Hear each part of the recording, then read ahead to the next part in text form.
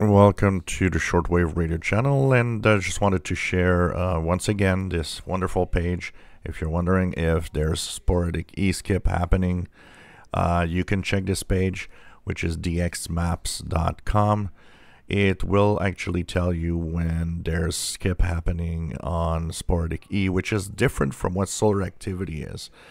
Um, sporadic e-skip is a phenomena that happens with intense clouds of ionization that can form at any time. So you could have 10 meter openings and 6 meter openings, 50 megahertz, in the middle of the night. It doesn't have to be daytime or not. It doesn't follow the rules of solar activity, which usually tells you that, you know, 10 meters is open in the daytime when it's sunny and closes at night.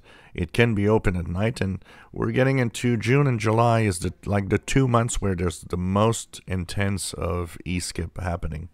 So when you go here, you have choices. You can see Europe, Africa, North America.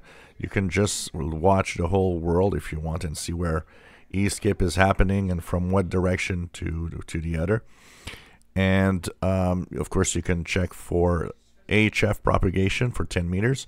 I check 50 megahertz because 6 meters is extremely interesting. If you have a scanner radio and you see that 50 megahertz is open, scan from 50 to 54 and even scan from 30 to 54 as you will actually have a, a uh, interesting idea of, of what could be heard that could come from a certain distance. So it's pretty cool for that. And uh, you might even see my call. Yesterday I was actually on doing FT8 50 megahertz I actually made contacts with some stations across the east coast of the United States. And I was looking at uh, North America, and I noticed that my call sign had showed up as one of the calls on uh, Skip, which also tells you where the contact was made. And it's probably using the uh, different um, PSK reporter spotting sites uh, for this purpose.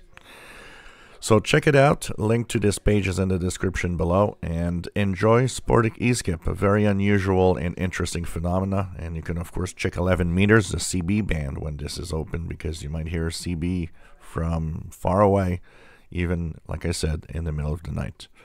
If you enjoy my videos, please subscribe, give us thumbs up. Thank you for watching.